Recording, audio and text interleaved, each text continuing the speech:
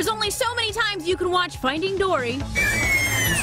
Before you want to see the live action version for yourself, there are some awesome aquariums out there. Here are a few of our faves. First up, Birch Aquarium in San Diego, California. This aquarium is also home to Scripps Institution of Oceanography at UCSD, so it's a safe bet they're gonna school you on fish. The Tide Pool Plaza is a must-see because it allows folks to get handsy with all kinds of sea creatures, and that view of the Pacific Ocean will blow your gills right off. Next stop, New Orleans, Louisiana. The Audubon Aquarium of the Americas was voted one of the best aquariums by USA Today, likely in part to this 400,000 gallon Gulf of Mexico exhibit and the Great Maya Reef exhibit. We hope that in coming here, you not only learn about the ocean, but you become attached to the animals. And how could you not? I mean, look at this newly hatched penguin and uh, these adorable sea otters. Now you see why they call it the Big Easy.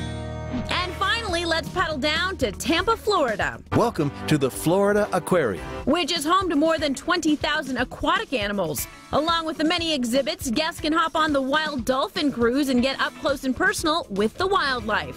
And let your little fishies take a dip at the aquarium's two acre adventure water park.